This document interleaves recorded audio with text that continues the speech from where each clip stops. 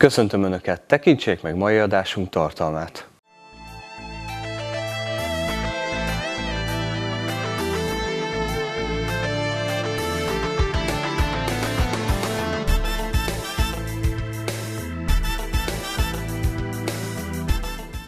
Múlt hét pénteken hangversenyre került sor a művelődési házban itt Kistelken.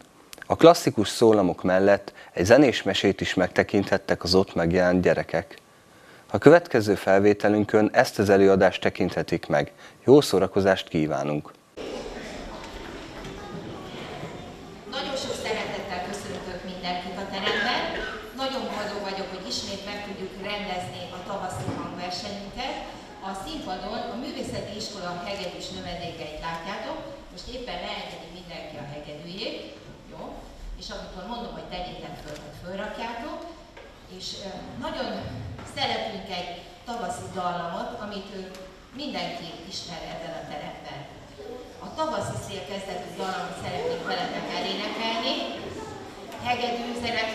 kísérettel, és arra kérek mindenkit, hogy most a hangját az éneklésre használja, és ezzel a szép dallal kezdjük el a hangversenyt.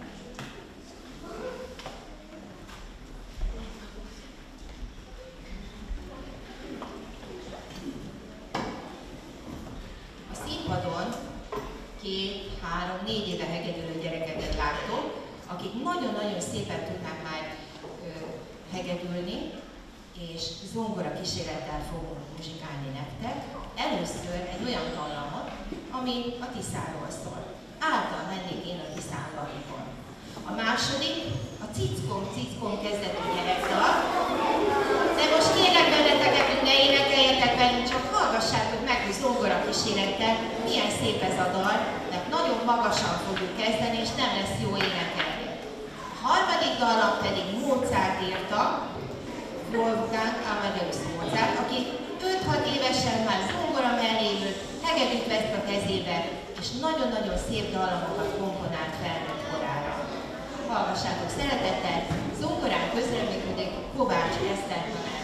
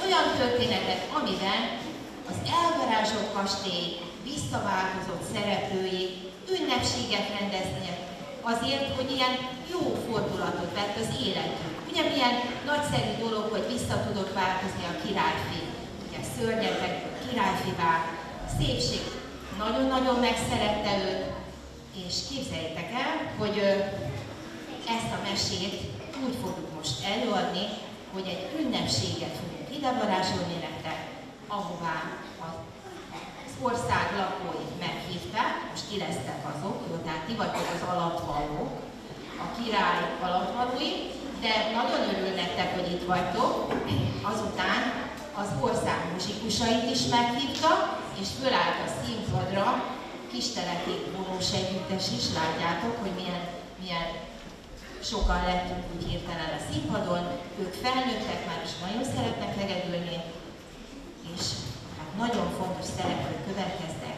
Az első A-ból, az első A osztályból királyfény lesz, szépségünk, aztán egy ünnepségről nem maradhattak el a mutatványosok, és hát mi zenészek is itt vagyunk. És képzeljétek, egyszer egy nagyon szomorú hírt fog hozni a hírnök, másodszorra meg vidámat, és ez a zenében meg fog mutatkozni. Tehát meg fogjátok hallani, hogy mikor szomorú a királynő, és mikor lesz vidám. A mesemondó pedig Frányó Judit tanárnő lesz.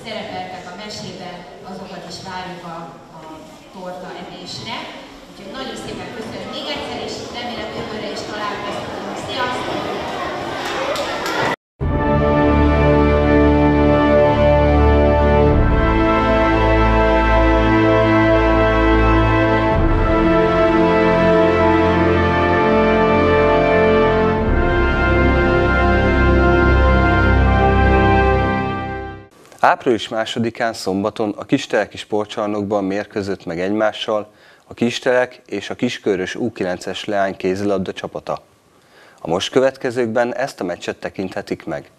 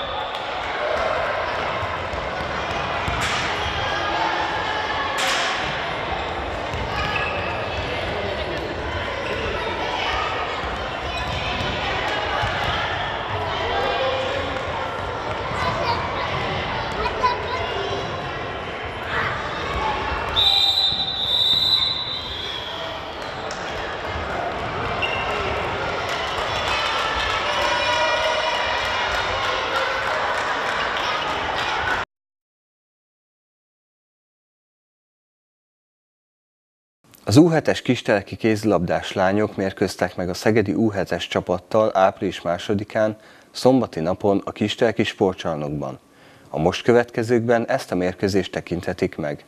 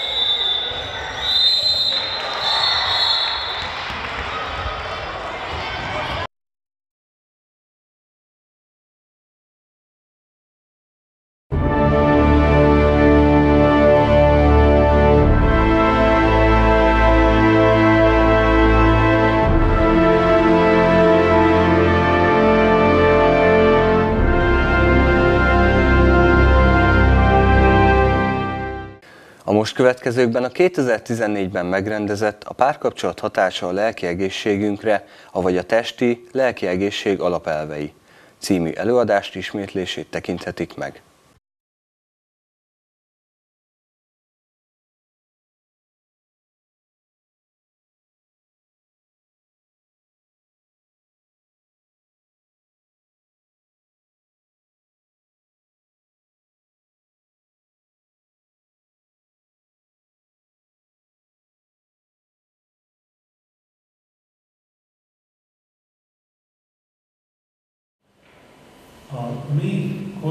Hozzáállásunk annyiban különbözik a pszichológusok akiket filmben látnak, hogy azok a pszichológusok, ha szakma szabályzatai miatt kötelezve vannak arra, hogy a személyiségüket háttérbe vonják. Tehát, hogy a magánéletüket minimális módon mutatják meg, és még kevésbé mutat, mutathatnák meg, mint amennyire megmutatják. Tehát ők azok, akik eléggé uh, ilyen, ilyen uh, csendesen hallgatnak, bólogatnak.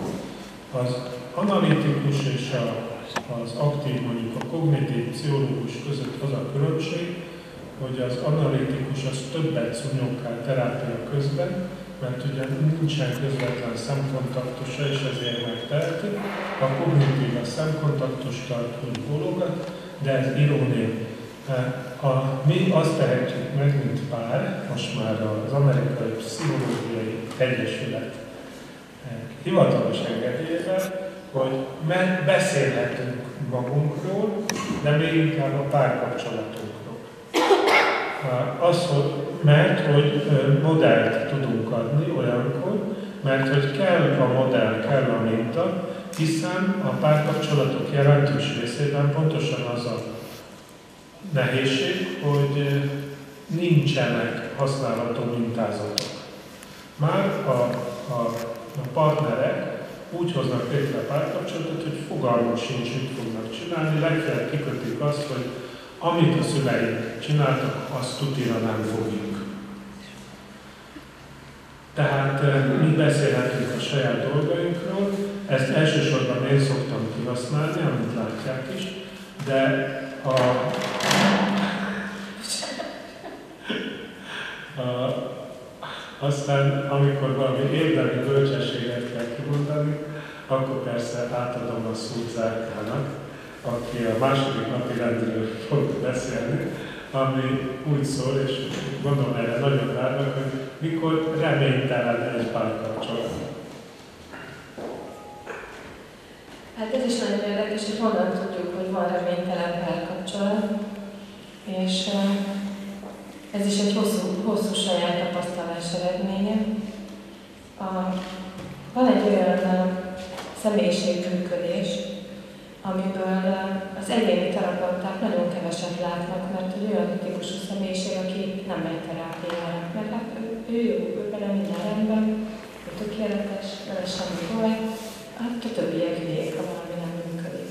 Hát, hogy van egy ilyen személyiségtípus, aki viszont párterápiára hajlandó eljönni, és ezért ebből a személyiségtípusból nekünk egyre több jut, és ezért egyre többet foglalkozunk vele, Szerintem mondom, hogy hogy hívják ezt a személyiségtípust, és akkor így elkezdenek ráismerni, aztán meg megnézzük a részleteket.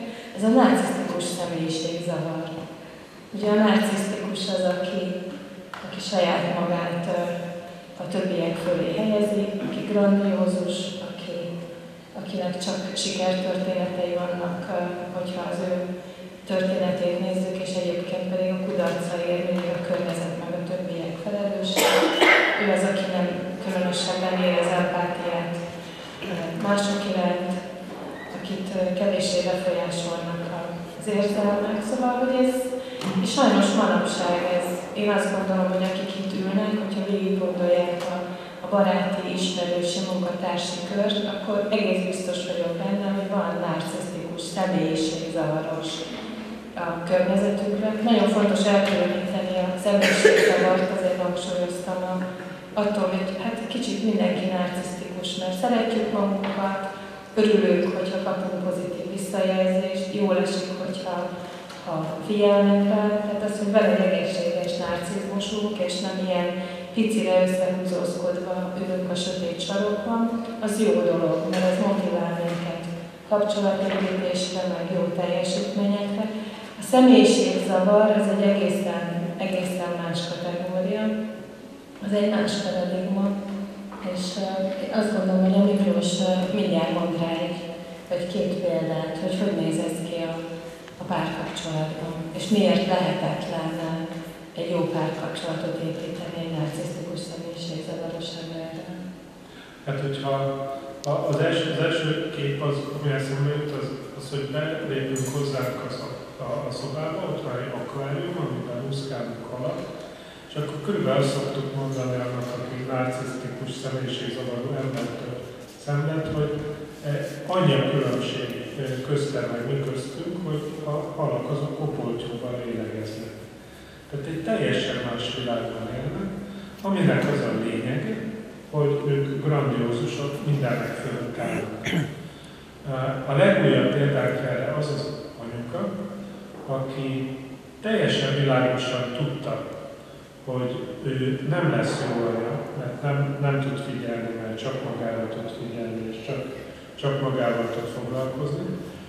Úgyhogy pszichológiailag úgy menekült ki az anyaságból, hogy összegyűjtött egy grandiózus betegséget egy olyan fajta betegséget, amivel most már egy egész tudós csoport foglalkozik, mert hát ugye hozzáment egy grandiózus pasihoz, akinek lehetősége van ennek a, a szponzorálására.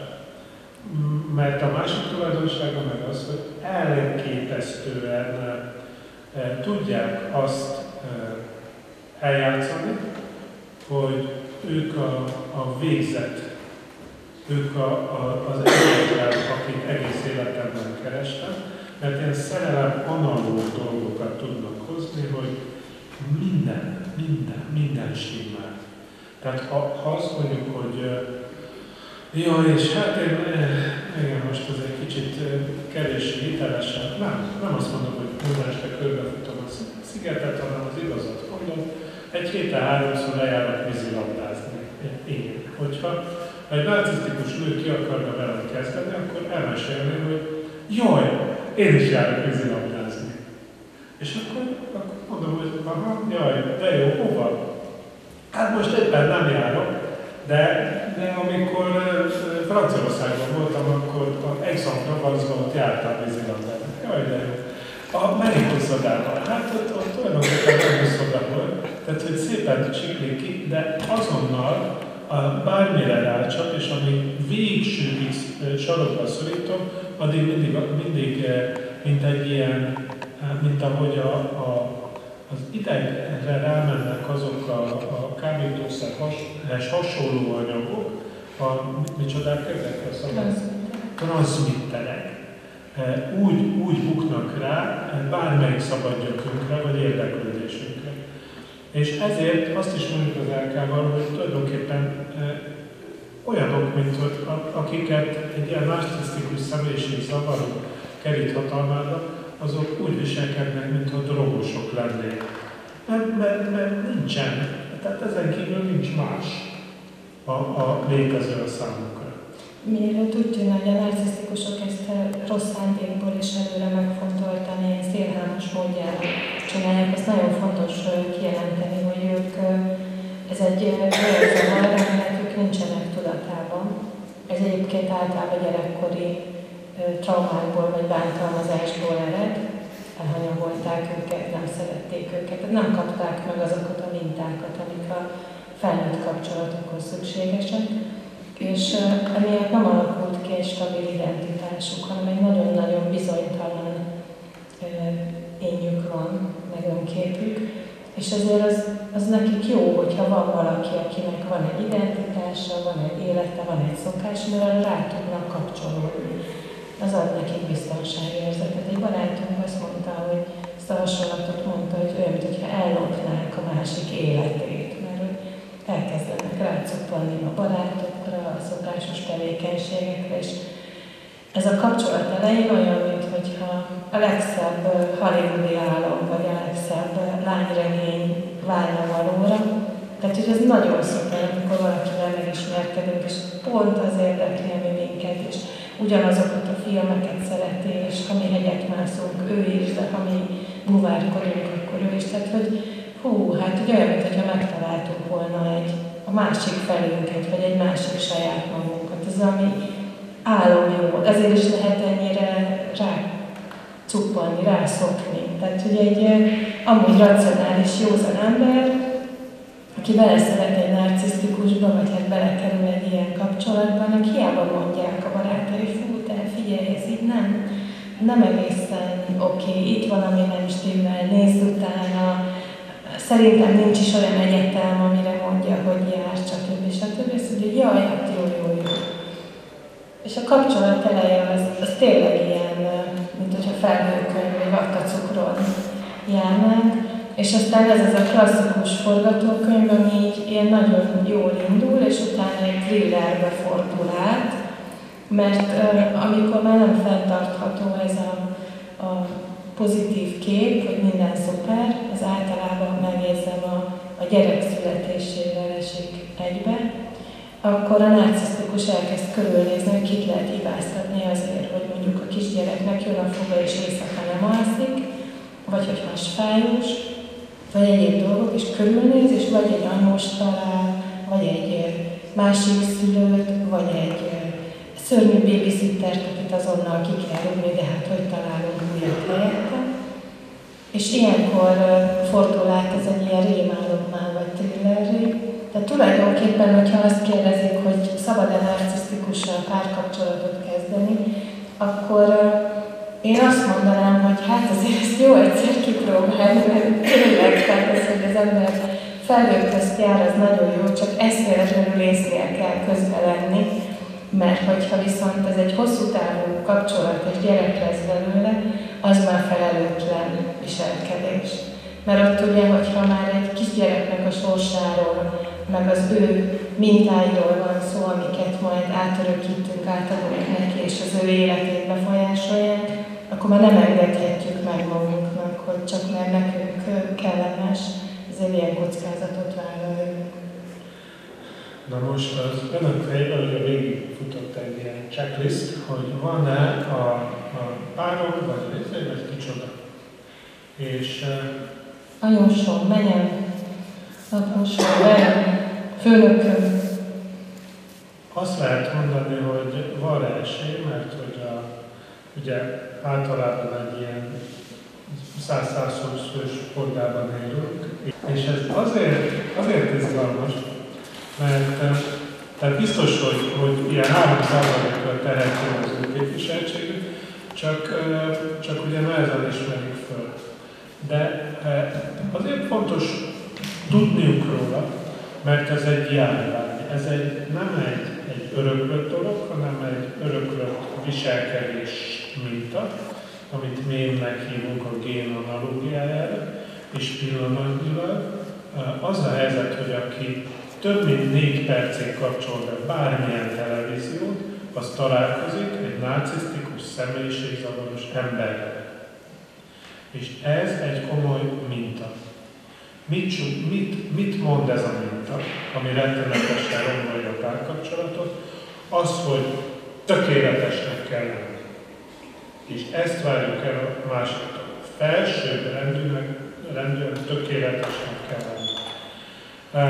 És ez az, ami teljesen szép tud rombolni párkapcsolatot, mert mivel kezdődik, hogy jaj, nagyon köszönöm. Kezdődik mindjárt azzal, hogy ugye a partnernek kell tökéletesnek lenni. A, a lányok kétségbe esetten szaladgálnak, hogy egy deka zsírbe legyen rajtuk a fiúk kétségbe esetten melóznak, hogy, hogy meglegyen a, a, mindaz a... Kockás has, szálkás mellizmok. Meg, meg a, tudom én, 1800 köpcentis autó, meg és tehát, hogy, hogy aztán utána jön, ami, ami meg még borzasztó, hogy tökéletes szülőnek kell lenni, mert nincs tökéletes szülő, ezt 30 évvel ezelőtt levitatkozták pszichológusok, hogy mi a, ki a tökéletes szülő. Nincs tökéletes szülő, csak elég jó szülő van. De ezt a média nem közvetíti, mert akik megjelennek ezek a, a, az állati csinos anyukák, majdnem mondtam neve, hogy hát ő három gyerekkel, és, és hogy ez a három gyerek milyen jól van, és minden. És akkor egy ilyen reggeli műsorban voltam benne, és akkor megkérdeztem, hogy élőadásban komolyan, mert annyira föl, mit csinál, hogy kell azt felbosszantott. Így fölbosszantott. És kérdeztem, hogy oké, okay, és akkor most az a három gyerek hol van? Mert, mert reggel 7 órakor ülünk e, e, Fehérváron, és a hölgynek meg tetszik lakni Óbudán. Óbuda, Óbuda Ófaluban. És hogy, hogy hát mikor tetszett eljönni otthonról, hol van most az a három gyerek, mi van most velük? Hát a, a, a Erzsikével van, aki babysitter. És az, akkor, hát így, így, így lehet tökéletes anyukának lenni. Tehát mi, miközben felsőbbrendűséget sugalva azt mondják, hogy ők tökéletes partnerek, aztán, hogy tökéletes szülők, aztán, tökéletes életminőségben élő párok, na ez a cikán, meg ilyesmi. A közben ugye a, a házas párok, a párkapcsolatok, meg azt mondják, hogy na, látod, ezeknek van életminőség. Ez a minden színházban. És akkor mi történik? Ugye apu azt mondja, hogy hát akkor tényleg főnök engedjen el engem, engem fél hatkor, mert, mert csikordó fékekkel oda kell érnünk a színházba, és valami ilyen darab lesz a vendégmunkásokról, meg az idegengyűlöleket, és akkor beül, és ott kicsit elalszik, és akkor már jön az, hogy látod, mert melletted aztán nincsen életminőség, meg, meg hogyan van ez az egész dolog. A, a kívülről ránk erőszakolt normáknak akarunk megfelelni a párkapcsolatokban, és ezeket a normákat olyanok erőszakolják rá, akik, hogy is mondjam, zavar, zavaros. Nem igaziak. Tehát személyiség zavaros emberek. És ez, tessék ezt, ezt figyelembe venni, hogy mi az lk abból indulunk ki, hogy eh, mi elég jó szülők vagyunk. Most a Linda vigyáz a gyerekekre, akik elég jó gyerekek. De e, például, amikor a Linda odajött hozzánk, 32 évesen, akkor a 8 éves kislányunk azt mondta neki, hogy na, e, Csicska, vedd föl a, a pulóveremet, mert látod, hogy ott van lenne. És akkor azt mondtuk, hogy hát igen, kell neki mintát adni, mert hogy az osztálytársai elkezdték, hogy na nálatok van, van házvezetőnő, az cserét, az csicska, meg mit tudom, hogy micsoda, belevettek a mintába. Mi nem azt mondtuk, hogy, hogy ő, ő egy rossz gyerek, hanem azt mondtuk, hogy elég jó gyerek, és anyunk, elmagyaráztuk neki, hogy mi a, mi a Lindának a feladata, és nagyon vigyázunk arra, hogy a Linda jelenlétében mindig úgy beszélünk Lindában, vagy a gyerekek jelenlétében is úgy beszélünk Lindában, mint egy partner. De, de egyáltalán nem mondjuk azt, hogy nekünk szuper gyerekeink vannak. Isten áldjon A legnagyobb, hogy nekünk szuper házasságunk van. Hanem azt mondjuk, hogy, hogy elég jó a házasságunk ahhoz, hogy érdemes legyen érte dolgozni, érte tenni. És azt hiszem, hogy, hogy most jutottunk el oda, ami miatt, amit önök tulajdonképpen várnak tőlünk, az az az, hogy hogyan lehet a, a párkapcsolatot fenntartani. Tehát, hogyha az eddigieket összefog, vagy, javítani, vagy gazdagítani, vagy további. Ha az eddigieket összefoglalhatom, akkor azt lehet mondani, hogy egy olyan alapállás vagyunk, hogy kivéve a narcisztikus személyiségzavar, nem nagyon ismerünk olyan okot, ami miatt egy párkapcsolatot be kellene szüntetni. Ha személyis, narcisztikus személyiségzavaros tett fel a nyúlcipőt, húzzál el, Először bizonyosod meg róla, de utána fussál a látogatár legszéléig.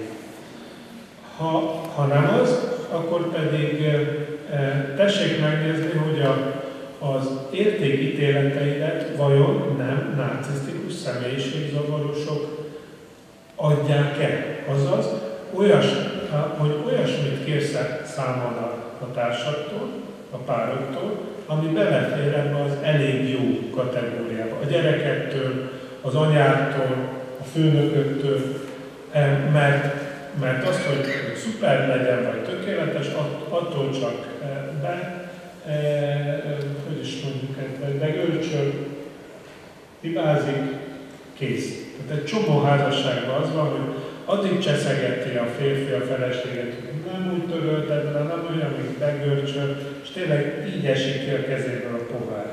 Az, én azt gondolom, hogy ez elég jó, az azért egy nagyszerű megfogalmazás, mert ugye ezt lehet mondani is, hogy hát nem túl pocsék.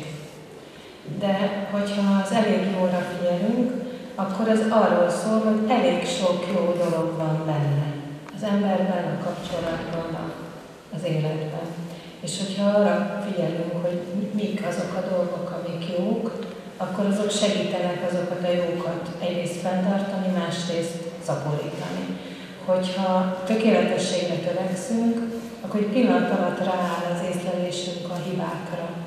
És akkor elkezdjük azt észrevenni, hogy hú, kijött itt egy piros volt az arcomban, ezt a foltot is el kéne takarni. Tehát, hogy, hogyha azt nézem, hogy hogy mi hiányzik a tökéletességhez, akkor a hibákat fogom látni, meg a hiányokat, amiközben biztos, hogy, hogy két hiány mellett találnék nyolc olyat, ami jó. Csak hogy kell venni a hogy elkezdjem összeszedni, észrevenni, visszajelezni pozitívan a másiknak, örvendezni neki. Ez egy nagyon fontos dolog, hogy ami jók vannak, azért tudunk hálásak lenni, mert annak tudjunk örülni. Azt tudja tovább vinni. Hogyha azt mondom, hogy már megint ezt csináltunk, azt nem csináltad, így nem néztél, oda nem jöttél, akkor tényleg elkezdem átvenni ezt a, a narcisztikus modellt, ami egyrészt a tökéletességre törekszik, másrészt meg, meg nem visel el olyan apró emberi hibákat vagy gyarlóságokat, ami hogyha nem egy mozaik tükörben nézzük magunkat, hanem egy rendes egyben nagy tükörben, akkor ott vannak azok a, azok a hibák, meg azok a furcsaságok. Tehát narcisztikus is csak úgy tökéletes, hogy mindig csak egy bizonyos szögből, egy bizonyos pici porcikáját nézi, és sosem egyből az egészet. És hogyha úgy nézzük a párkapcsolatunkat, hogy végig gondoljuk rendszeresen, hogy hogy mi minden jó van benne, mi minden jó ért minket, milyen nehézségeket küzdöttünk meg együtt, és hogy tudjuk ezt újra megcsinálni, akkor nagyon jó úton haladunk. Hogy amikor egymásba szeretünk, már azért feltételezzük, amikor azt mondjuk, hogy a, a, az egészséges személyiségek által létrehozott párkapcsolatok azok fenntarthatók és jól működtethetők, hogyha odafigyelünk, akkor azért azt is feltételezzük, hogy úgy indult egy párkapcsolat, hogy megtetszettünk egymásnak, hogy voltak jó közös élményeink, kellemes pillanataink. Tehát itt azért az fontos, hogy nem a kommandált házasságokról beszélünk, hogy egy fiút meg egy lányt úgy házasítanak, hogy az oltár előtt találkoznak, hanem a, a, a vonzódáson alakuló, a rokon szemben alakuló házasságokról. Oké, okay, akkor azt tudom ennek a résznek a lezárásaként mondani, hogy ha, ha egy ilyen probléma helyzetbe keverednek, akkor nézzék meg azt, hogy, hogy attól még a másik elég jó-e. Akár gyerek, akár ki. Most jön az, hogy jó, mire építjük akkor mi a modellünket, hanem a tökére. Erre azt mondjuk, hogy mi nem építjük a modellünket, a modellünk megépül, úgy hívják, hogy Cortex vagy, vagy Kérek. Az utóbbi két millió évben épült meg, amióta emberek vagyunk, egy speciális helyzetben épült meg, ezt úgy hívjuk, hogy horda. A horda az a, kértem vizet, mert tudom, sokszor mondom, 100-120 fős embercsoport, aminek a kereteiben az ember élt. Tehát, ergo, az a kétfős embercsoport, aki nevel mondjuk kettő gyereket, az nem tekinthető az ember természetes állapotának. Az a balhé természetes kell, fészke, kell, keltető. Mert ugye a, az egyik nagyon nagy baj, ami történhet, az az, hogyha elkezdenek egymással küzdeni. Ahogy én látom magukat, mint párokat, minden pár esetében nagyjából igaz az, hogy baj lenne, ha egy valódi küzdelem lenne.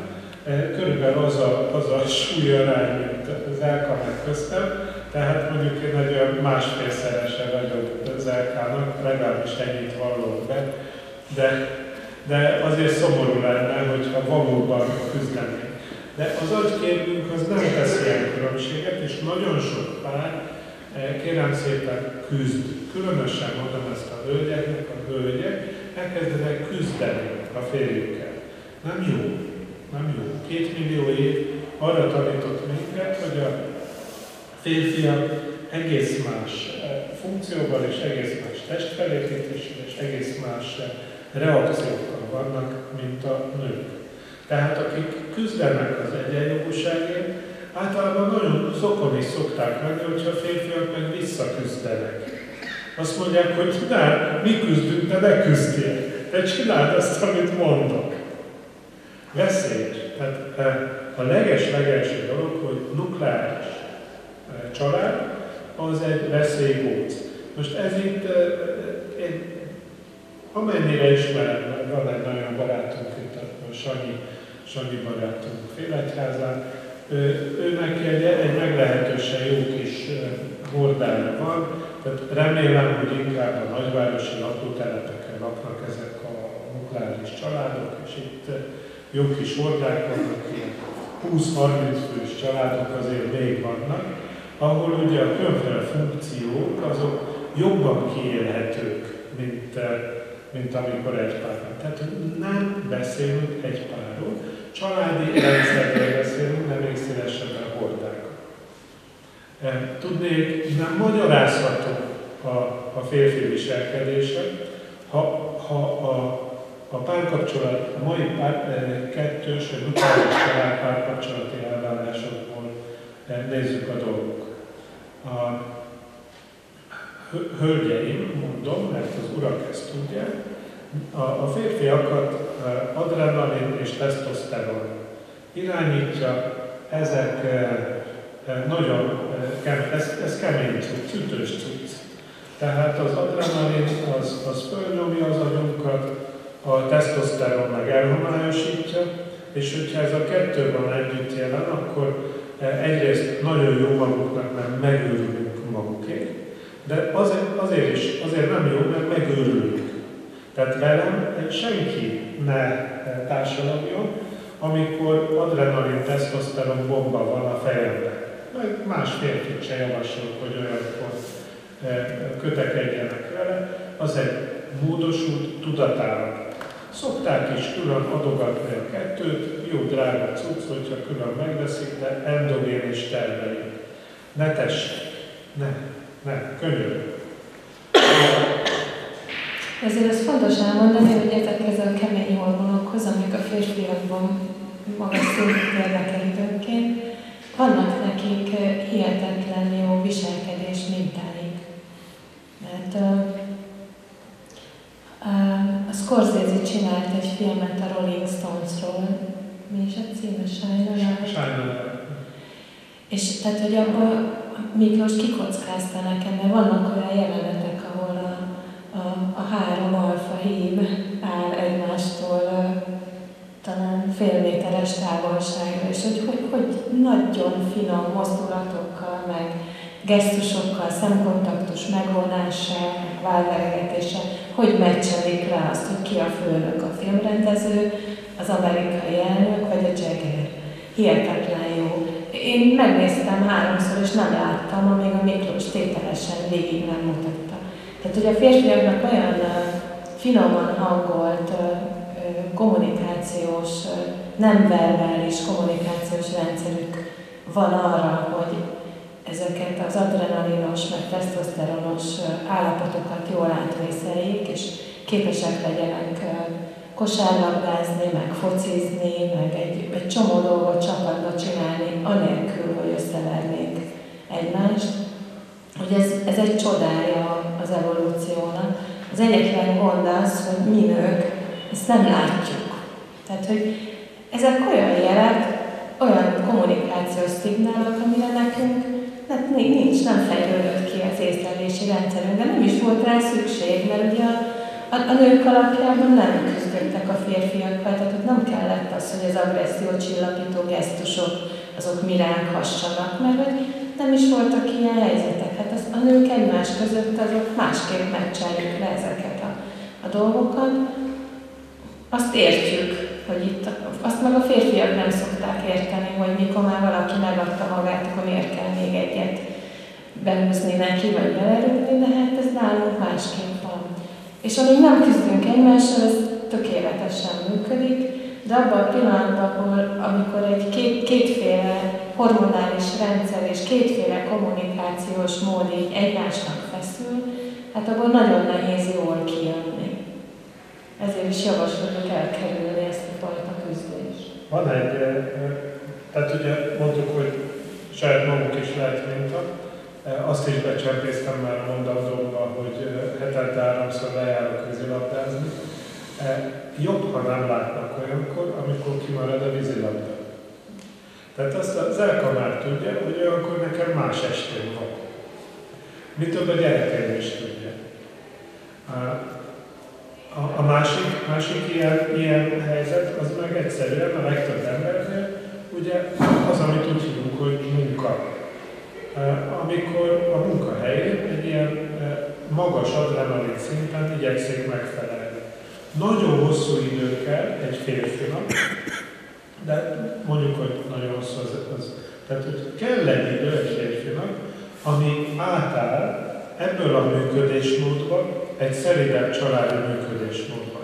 És most ugye eljutottunk egy, egy olyan ponthoz, ahol kibújik belőlem a terapeuta, és ne haragudj, hogy megszólítom ott, nem hogy hívják? Engem? Igen. Péter. Péter, Péter, Péter a kőszikla. Most e, elmondom, hogy mint terapeuta, egész egy, egyfolytában eddig azon, azon gondolkodtam, hogy hogyan lehet elérni, hogy a Péter kihozzam ebből a pozícióból, és egy kicsit nyitottabban figyeljen rá. És az a helyzet, hogy mint, mint tapasztalt terapeuta, és férfi, itt van csomó csinos nő, meg együttműködő, meg mosolygó, meg kezdettől mosolyognak. Ugye a, a Babitól meg kaptunk pálinkát, meg. De ki érdekel engem? A Péter, láthatóan domináns íz, és az, hogy a Péter hogyan, hogyan mikor nyit ki. A, te is szereted a Péter? Most. Most. De, Bocsánat. Csak, csak hogy egy demonstrációs, és gondolkodtam, hogy a Tibit ide hívom, hogy mutassa meg a közönségek meg minden, de hát személyiségi jogok meg annyira nem fontos, csak itt, itt van egy élő demonstráció ennek, és a Zerka Zerka tanulja, hogy egy nagyon tapasztalt terapeuta néz egy közönséget, és nem érdekli a Péter. Én, én nekem meg, és erről beszélünk, nekem meg nagyon fontos, hogy, a, hogy mikor nyit ki a, a domináns annyira, hogy legyen értelmes beszélni. Addig zavarba vagyok, hogy mit kéne még mondani. Na, tehát visszatérve a három vízilabda meccsre, igen, az, meg a, a munkahelyi átállás, ez az egyik legkomolyabb párkapcsolati teher. Mert, de nyugodtan mondjak, mondjak arra, semmit csak demonstráltam. Tehát, hogy a párkapcsolat, mert mi történik, ha nincs meg ez a tesztoszteron adrenalin bevezetés valamilyen öltözőbe, valamilyen csapatba, valamilyen küzdelembe, vadászatba, árágásba, mit tudom én micsoda, akkor, akkor jönnek a pótlékok, amik jellemző módon ugye olyan virtuális helyzetek, mint például a, az akciófilm, a, a, foci meccs nézés, és ilyesmi. És akkor, de, de tök mindegy, mert, mert mi van ilyenkor, azt mondja, hogy micsoda fél vagy te, hogy a hely gyerek földetésére hazaérni. Persze, a víz, vízilabdás haverokkal, vagy a vízi, a, a, és akkor, akkor most jön valami nagyon kemény, kevésbé nőies kifejezés, de, de ez van. Az, az van ezekkel a hormonokkal, hogy alapjában az a, azt szolgálják, hogy a, a vázizomzatot egy fokozott terhelésre előkészítsék. Ez a küzdés, vagy a menekülés, vagy a vadászat, tehát hogy ezek arra jók, hogy úgy oszoljon el a vérkeringés, meg olyan legyen a pulzus, meg a szervezetnek az egész energiaellátottsága, hogy, hogy jól tudjon mozogni. Na most, hogyha ehhez képest ülni kell egy fotelba és úriemberesen mosolyogni a fehér gallér fölött, az egy nagyon nagy megterhelés. Tehát, hogy ezt akkor tudja a szervezet hamar felhasználni ezeket a hormonokat, meg gyorsan visszaállítani a, a nyugi homeosztázist, hogyha van nagy mozgás. Egyébként meg egekben vagy a vérnyomás, meg a mindenféle ilyen egyéb stresszjelek keletkeznek. Tehát, hogy ez a heti kettő-három vadászat, azért ez a férfi szervezetnek az egészséges hosszú távú működéséhez kell, és itt most a vadászatot idézőjelben mondom, tehát nem a csajozásra gondolok, vagy arra, hogy igaziból lőjünk vaddisznót, hanem hogy e- ez a fajta ilyen férfi csoportban, vagy férfiak között való ilyen aktív, nagy mozgás. Ez a horda egyik fele, a másik fele, hogy a, a, a női fél azért, hát egy kicsit beszél. Róluk is. A, ugye ő nekik a, a, egy ilyen, úgy hívják, hogy kurkászás, vagy grooming. Tehát, tehát egy, egy, egy, egy folyamatos figyelem, folyamatos érintés, mert amit meg az oxitocin a, a hormon, ezt így el kell mondanom rólad. ami, ami három területen fogható meg. Az egyik, a, a, azt is tudják, onnan hallották a nevét, a nőgyógyászok használják, hogy sietnek hogy hamarabb meg lehet kibújjon a baba. Hát, a, a, a második helyzet ugye a, a szoktatás, a tejbelőleléshez használják a sima izmok. A, harmadik pedig az orgazmus, amikor a, ugyanaz a mély összehúzódás ez jön jelen, és az oxitocin a szoktatás miatt elsősorban a bizalom hormonja. Tehát a, a, a nőknek ez, ez az igényük van, hogy oxitocin legyen jelen, bizalom, lelkítség, érintés, csevegés, egymás felé fordulás, ilyesmi. Na most, eljössz? Bocsánat, csak muszáj ezt elmondanom, hogy ez nagyon érdekes abból a szempontból is, hogyha van egy probléma helyzet, akkor a férfi meg a női hozzáállás az pont ennek megfelel egész más. Tehát, hogy beszéljünk a problémáról, mondjuk el, na izé, te mit gondolsz, ő mit gondol, közvéleménykutatás, barátnők, anyám, szomszédasszony, akárki. És hogy sokat processzálni ezt így verbálisan. És a férfinak, hogyha odaraknak egy problémát, az mi megmondja, hogy mit csináljuk. Tehát ez probléma, oldjuk meg. Nem akar róla órákig lamentálni, hanem azt mondja, hogy mit kell csinálni. És akkor ez, tehát hogy ez olyan hihetetlen, figyelmetlen, meg tapintatlan dolognak tűnik, hogy azt, hogy ezt vagy azt csinálja. Persze, persze, ki adja a lényeget, mert, mert hát nem azt mondja, hogy ezt kell csinálni, hanem ugye hogy azt, elkezdi megoldani. Azt, azt, mondom, azt mondom, hogy, hogy kell egy kis víz. És akkor most kérjek meg, hogyan kérjek meg, hogyan szerezzek ezek.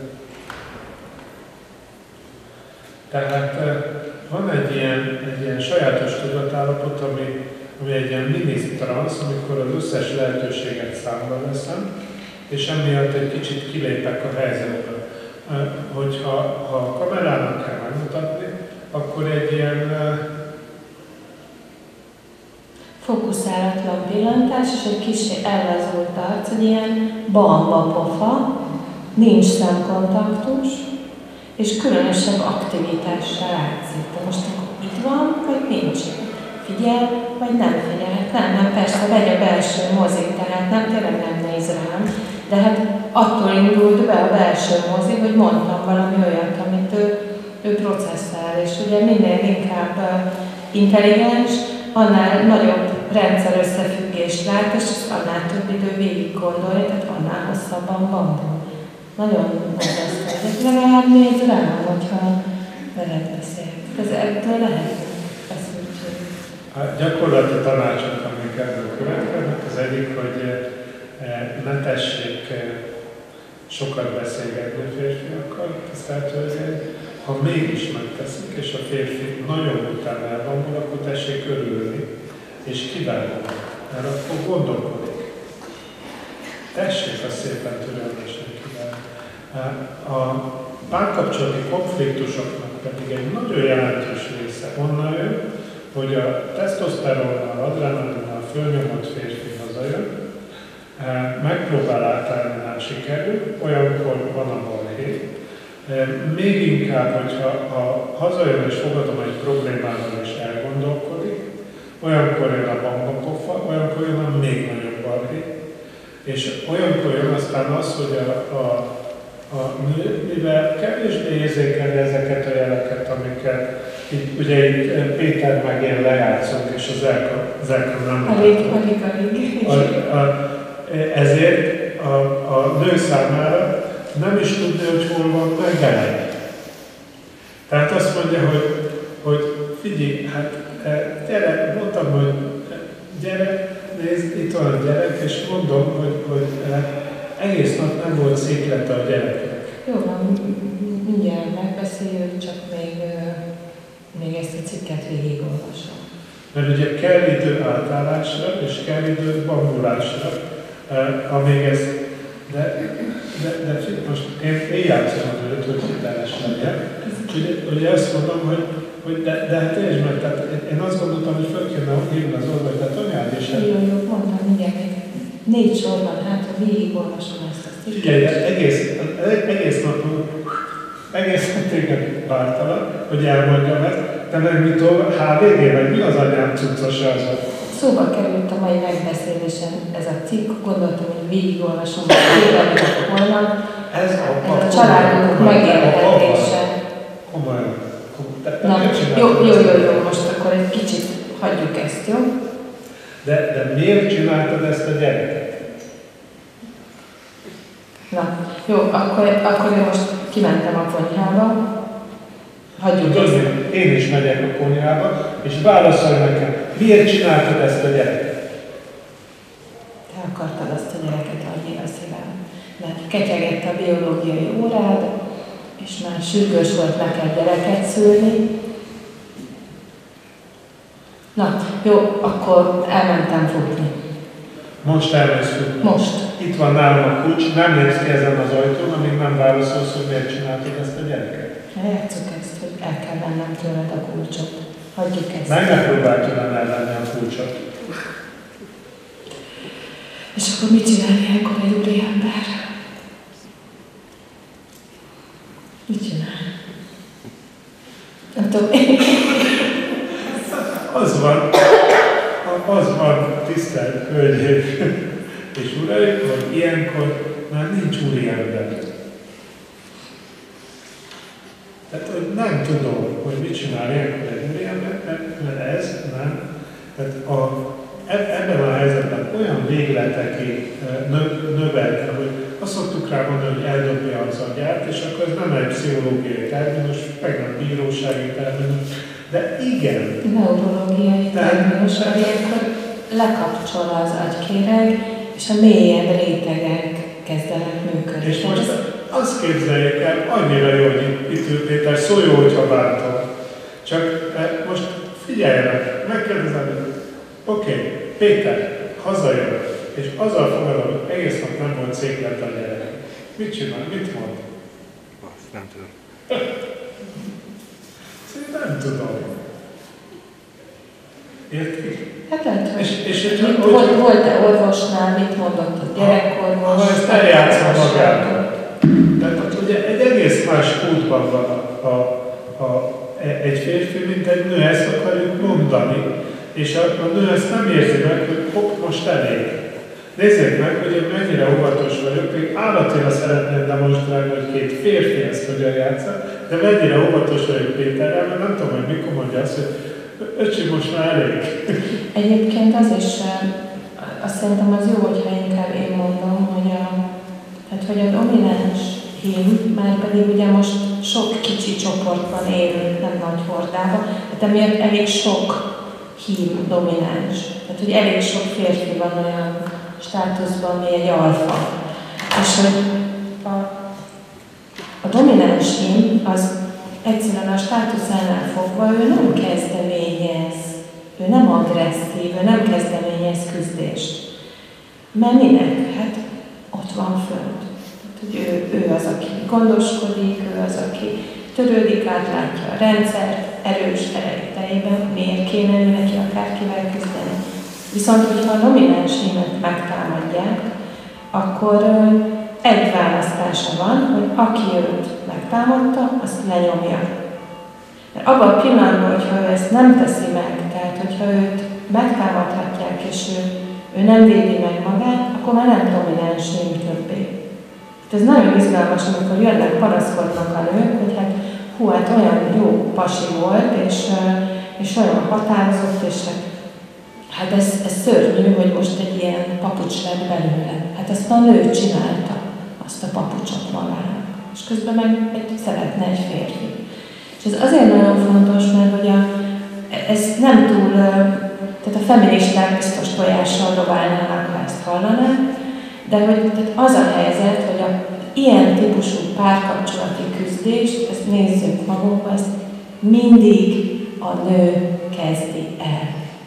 Lehet, hogy nem veszik észre, mert hogy küldünk egy olyan nem verbális gesztust, vagy, vagy egy olyan ö, finoman becsmérlő megjegyzést, vagy egy olyan pillantást, vagy egy várándítást, ami, ami nem arról szól, hogy a másikat becsüljük, hanem valami másról, de hogy én még olyan párkapcsolati küzdelmet, de ott, ami kanapénkon, ahol ülnek a párok, soha nem volt olyan, hogy a férfi kezdte volna. Tehát, hogy nagyon nézzünk magunkba, hogyha veszekedés van, hogy mit csináltunk. Oké, okay, két ember kell hozzá, csak hát ez úgy nagyon nehéz, hogyha azokat a jelzéseket, amik onnan jönnek csillapító jelek, mi meg nem látjuk, meg nem veszük észre. Tehát ezért sokkal inkább érdemes nem belemenni az ilyen küzdelmekbe, mert rosszul jövünk ki belőle, mert vagy lenyomnak bennünket, vagy az a férfi, akire ideig fölnéztünk meg, bízhattunk benne, meg számíthattunk rá, az elkezd gyengülni. Tehát mindenképp kiszúrunk magunkkal. Na most, ugye ebből az következik, hogy hát igen, nagyon kerüljük a, a párkapcsolaton belül a küzdést, de de hogy hogyan oldjuk meg? Tehát az egyik az, hogy, hogy amit most már miután tényleg látják a problémát, az egyik feladat, tessék hordát építeni. Tehát tessék lehetőséget biztosítani a férfiaknak arra, hogy elmenjenek vadászni. Ez bizonyos szempontból a metafora, bizonyos szempontból az elmúlt két millió év erről szól. Tessék a, a nőknek lehetőséget biztosítani arra, hogy groomingoljanak, hogy, hogy legyen olyan, olyan terük, ahol érintést kapnak, ahol, ahol, ahol ezt, ezt élhetik ki. És amikor ez a kettő egyensúlyba jött, akkor megvan a megfelelő terv. Na most viszont jön az a kérdés, oké, okay, és akkor, akkor, akkor mi van? Erre megint, megint van egy nagyon érdekes evolúciós jelenség ezzel a mi emberi vagyunkkal, amit nem tanítanak iskolában, meg mi fedeztük föl. ez, ez volt a nácizmus, ez most vicc volt, bocsánat. Szóval, hogy nem tanítják iskolában, mert azt mondják, hogy van rövid távú emlékezet, meg van hosszabb távú emlékezet. Tehát a, a rövid távú emlékezet az mondjuk arról szól, hogy a, a legutóbb melyik golyót rögtem be utoljára, csak arra figyeltem, hogy belelökjem. Valószínűleg, hogy, hogy egy hónap múlva nem, már, már alig emlékezem rá. A hosszabb távú emlékezetben meg mondjuk benne van az, hogy a németben Derdi és Dászon a három névet. Oké. Okay. Mi az lk azt mondjuk, hogy van egy harmadik fajta emlékezet, ha oda teszi el a mi agyunk, de már eh, azt gondoljuk, hogy, hogy nagyon régóta, az élményeket. Élményből pedig kettő fajtát különböztetünk meg. A rossz élményt, amit úgy hívunk, hogy trauma. És eh, ha most egy kicsit elkezdenek kutakodni az agyukra, de inkább ne Tehát az, az elég evidens, hogy akit ért valami trauma, az most néhány másodperc után elő tudna szedni még, még azt a, a göröngyöt is, ami át, hogyha olyan helyen ért a trauma. Tehát csak ez, ez egy most butaságot, hogy ezzel kezdtem, mert, mert tényleg... De akkor már később nem kell meg erről beszélni. Jó, nem, nem, nem, És a, a, a, csak azért az, az olyan evidens, tehát akik értek trauma, az előtt ott van tisztán az egész kép. Meg a pszichológia is azzal kezdett először bütykölni annak idején, hogy akkor túrjuk ki a traumákat, és akkor dolgozzuk föl őket. Tehát mondjuk időrendben is. Vannak, vannak idején Anna Ó volt az első ilyen, ilyen esettanulmány Freudnak traumát sorozatában. És mi azt mondjuk, hogy ugyanabban az agy rekeszben, vagy háttérmemóriában vagy fájlban őrizzük a pozitív élményeket is, a katartikus pozitív élményeket is, amik ugyanígy előttünk vannak. Mondjuk, hogy na most ebben aztán tudunk, tehát az első csók, a, amikor eh, 89-ben eh, Prágában ott voltam a Rolling Stones koncerten, akkor 86-ban Budapesten ott voltam a Queen koncerten, és megszólalt fölrobbant a Népstadion. Azért nagyon jók ezek a koncertpéldák, mondjuk ahhoz képest, hogy hallgatok valamit fülhallgatón, vagy csak úgy, mert hogyha arra gondolok, hogy a nagy hangfalak hogyan rezgetik meg az embernek még a zsigerleit is, tehát hogy ott nem csak a fülünk, hanem az egész testünk hallja, hogy, hogy mi történik, az egész testünkkel átéljük, és ez a, az élménynek egy nagyon-nagyon fontos jellemzője, hogy azon túl, hogy valami történik, és arra, arra emlékszünk az esemény sorra, meg a színekre, meg a fényekre, meg az ízekre, meg a hangokra, azon túl van egy nagyon erős testi összetevője is az élménynek, mindig van valami változás. Tehát vagyunk egy valamilyen testi állapotban, és az megváltozik, miközben történnek az események. Ennek az első csók, hát az világos, hogy ez egy milyen típusú fiziológiás változás, hogy ott micsoda pulzus emelkedés van, meg, meg vérnyomás, meg kipirul a bőrünk, meg nem tudom én, meginog a térdünk.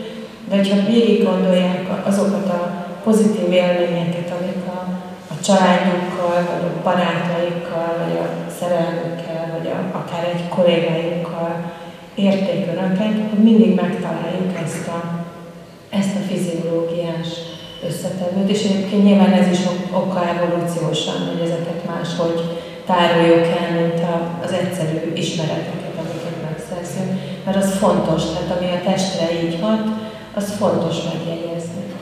Most egyébként tényleg gondolkodtam, hogy miért a, a, a Queen koncert jutott eszembe, amikor fölrobbant a Népstadion. De azért, mert, mert talán ez is mutatja, hogy mennyire közel van a katartikus élmény a traumához, mert a nagyapának meg ugye Doberdó volt a, a katartikus élmény, amikor fölrobbant alatta a völgy. E, és, és fények jöttek, és hatalmas e, robajok, és, e, és egy, egy iszonyú e, váratlan dolog, amikor elkezdtek rájuk ülni. Tehát, tehát amikor, és persze, hogy a, a, a profi show szervezők meg ezt utánozzák, amikor egy, egy koncertnek kitalálják a szenáriót. És a, persze, hogy az agyunk oda teszi el a két félét, és hogy tulajdonképpen, ha, ha mondjuk elvittük volna a nagymamát, hogy na még utoljára életedben halljál a érdekeset, akkor lehet, hogy ő meg úgy élte volna meg, mint Doberdót, és ki kellett volna vinni mentővel. Tehát, hogy ez, ez a, a keretnek a kérdés, hogy meg, de ez inkább csak ilyen, ilyen pszichologizálás, mert a, a, a lényegi az, hogy, hogy e, e, oké, okay, a, a hordában a nagy összekötő erő a közös élmény, és hogy e, hogyan tudjuk a párkapcsolatunkat gazdagítani, a párkapcsolatot úgy tudjuk gazdagítani, hogy közös élményekre teszünk szert. Ezt mi eh, onnan tanultuk meg, hogy eh, elkezdtük modellezni azokat a párkapcsolatokat, de nem is, nem is csak párkapcsolatokat, azokat a kapcsolatokat, amik eh, tartósak. És azt találtuk, hogy a tartós kapcsolatok mélyén van egy közös élmény füzér, ami összeköti őket. Mondjuk, ha, ha önök végig gondolják, hogy biztos, hogy van néhány olyan gimis osztálytársuk, akikkel máig tartják a kapcsolatot. Sőt, hogyha most itt az előadás közepén bekopogna ott, és azt mondja, hogy gyere ki, figyelj, segítségre lenne szükségem, akkor fölugrik a helyéről, itt hagyja ezt az előadást, még akkor is, hogyha ha már kezd egy kicsit érdekelni, de elhúz, mert azt mondja, hogy igen, te fontos vagy nekem. És miért fontos? Azért, mert egy közös élmény köt össze. És mi az az élmény? Hát, hogy mondjuk április 1 a, a, a fizika szertárban csináltak egy olyan bombát, ami fölrobbant, amikor megkinyitotta a fizika tanár az ajtót. Tök hülyeség. Tök értelmetlen. Semmiről nem szól. De egy közös élmény. És oda, oda visz ez a közös élmény, hogy fölkelek, megyek vele, és azt mondom, hogy, hogy barátom, igen, megteszem neked, e, olyasmire lesz rá, amit, amit se pénz, se hatalom, se semmi nem tud megcsinálni. Mert hogyha ott, ott egy, mondjuk egy ilyen szerb mafiózó állna, ott ráznál, jó, van az a pénz, de de vagyok valamennyit, hogy ráznál a gyerek, gyerekkel, komolyan, már mindjárt vége. Szóval érti, a, van egy átütő erejű valami, ez az élmény, és mi ezt használjuk a párkapcsolatok gazdagítására. Úgyhogy nehéz megmondani, miből lesz élmény. Tehát a program azért az nem biztos, hogy hoz élményt. Általában igyekezni szoktunk, hogy igen, de van benne egy ilyen véletlen tényező. Egyébként azt gondolom, hogy a, a fiatalok közti szerhasználatnak is ez, ez az egyik motivációja, hogy hozzon egy ilyen fiziológiás változást, és hogy akkor nagyon ütős attól egy, egy buli. Meg az, hogyha ha valamilyen alkoholos állapotban ügyeskedünk, az is egy kicsit ezt segít fölvezíteni. De hogy egyébként egy kicsi kreativitással, akár egy lakatvásárlás, vagy egy, egy kutyasétáltatás is lehet ilyen, ilyen élmény. Tehát, hogyha éberek vagyunk, meg ráadunk, akkor kicsit olyan ez, mint a biciklizés, hogyha már egyszer elkaptunk, akkor akármikor meg tudjuk csinálni. Először meg olyan instabilnak tűnik. A, tehát a, a recept, hogy csináljunk egy utoljást, aminek semmi értelme, ami esetleg sokba kerül, időben mindenki, és erőforrást igényel, erőforrást igényel, ráfordítást igényel, és lehetőleg valamilyen mozgásban hangol össze minket. Ha már itt vagyunk, ugye ma, ma is volt ilyen, ilyen párkapcsolat gazdagító élményünk, amikor hát elindultunk egy olyan túrára, amiről fogalmunk sem volt, hogy, hogy hogyan megy, tehát ilyen égvajjelszerű túra, és hát alaposan el is tévedtünk, meg, meg jöttek kutyák, meg, meg minden egyéb, Tehát ez mégiscsak valahogy úgy nekivágtunk együtt az ismeretlennek. Fontos dolog, hogy van perspektíva, fontos dolog, hogy van együttmozgás, és hogy, hogy ezt úgy együtt vállaltuk, hogy, hogy neki mentünk az ismeretlennek. Mert hogyha mondjuk az elkö különösen fél a kutyáktól, akkor ugye ez már, már is ugrik, de akkor is ugrana, hogyha én félek különösen. Igen, tehát az, fontos, hogyha ha, tehát ez meg széthangolna. Tehát, hogyha én egy ilyen bestresszel, bepánikolt állapotban vagyok, miközben ő nagy, lazán megy és töri az utat, akkor, akkor az nem tenne jót kettőnknek. Tehát, hogy ezt, ezt jó megfontolni, hogy olyasmit csináljunk, ami, amitől hasonló állapotba kerülünk, mert hiszen az az élmény fog közös együttes élményé válni, és köteléket képezni kettőnk közt, ahol hasonló az a fiziológiás változás, amit átélünk. Oké, okay. akkor elérkeztünk az összefoglaláshoz, ugye? Tehát ez a mi válaszunk a minőségi időre. Kérem szépen, nem kell sok minőségi időt együtt tölteni. Olyan elvárás, aminek úgy sem tudunk megfelelni, hogy más az életünk, mert vagy tisztességes dolgozó emberek vagyunk, akkor, akkor ugye használjuk ki azt az időt más.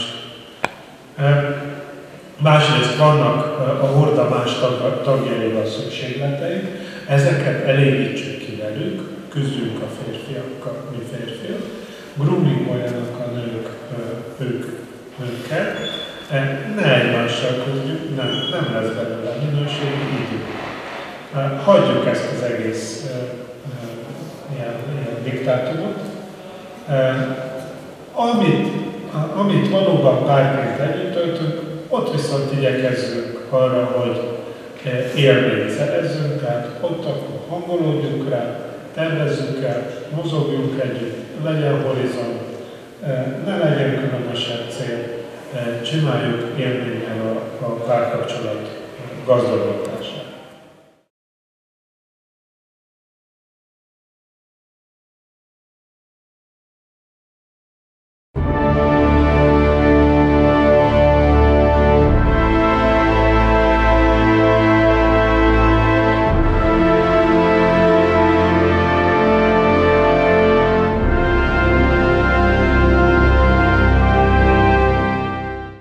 Következő adásunkat április 15-én pénteken este 6 órától tekinthetik meg, melyben híreink mellett heti Mozaik című magazinműsorunkkal, valamint aktuális rendezvényfelvételekkel jelentkezünk. Keddi adásunk ismétlését vasárnap délelőtt 10 órától, még pénteki adásunk ismétlését vasárnap délután 2 órától tekinthetik meg. Köszönjük figyelmüket, viszontlátásra!